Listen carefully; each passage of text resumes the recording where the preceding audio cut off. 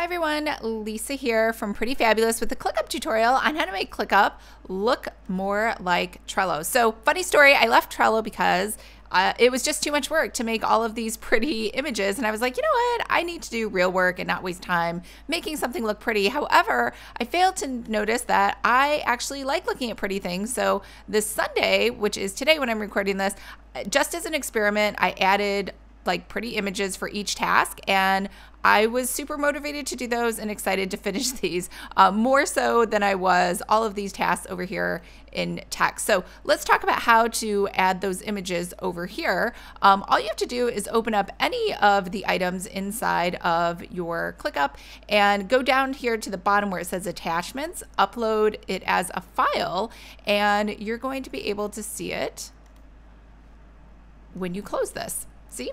So now I can see at a glance, because I know I designed this cover, that it is the Cozy Workbook. Over here for the sales page, I'm going to add an image from the sales page. And again, just pick out quick images that you can add really quick.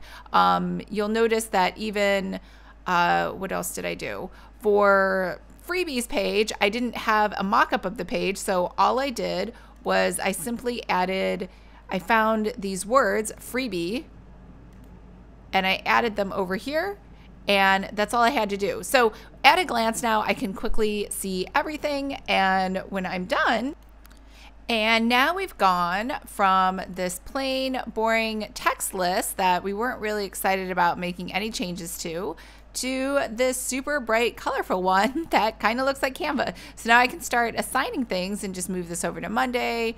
I can move that to Tuesday, this to Wednesday, um, and it's much easier for me to kind of just see at a glance uh, what I need to do and where it kind of fits during the week.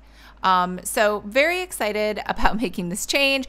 It only takes a couple seconds. Again, um, don't try to make the whole thing pretty. Just make your big cards pretty if you like this layout, and then you can still use all the other cool features inside of ClickUp. So that's a wrap for today.